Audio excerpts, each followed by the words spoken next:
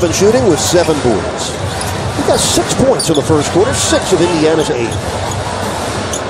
James Johnson from the corner attacks and throws it down. Oh my! Eric, shot fake set the whole thing up. The defender was going to bid on the shot fake. James gets into the launching pad and just throws it down, takes the hit. You think he wanted these two points? Take that, baby. Wow. Well, he puffed and puffed and almost brought the rim down. James Johnson